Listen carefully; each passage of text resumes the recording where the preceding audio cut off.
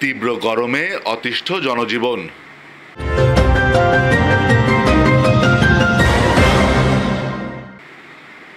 তীব্র গরমে অতিষ্ঠ হয়ে পড়েছে জনজীবন।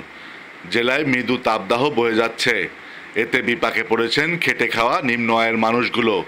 কয়েকদিন বৃষ্টি না হওয়া আর প্রচণ্ড রোদে কষ্ট পাচ্ছেন করোনাকে উপেক্ষা করে শহর, গ্রামে কাজের সন্ধানে বের হওয়া মানুষগুলো। বাতাসে জলীয় বাষ্পের পরিমাণ বেশি হওয়ায় গরম বেশি অনুভূত হচ্ছে।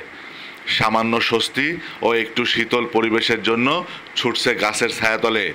এছাড়াও শরবতের দোকানে রয়েছে ভিড়। জেলায় চৌত্রিশ ডিগ্রি সেলসিয়াস তাপমাত্রা রেকর্ড করা হয়েছে।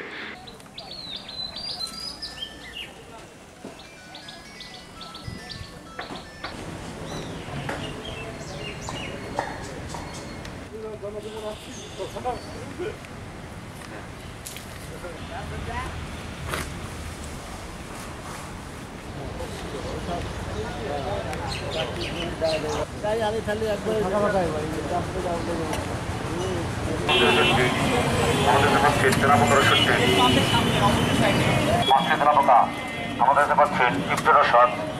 আমাদের আমাদের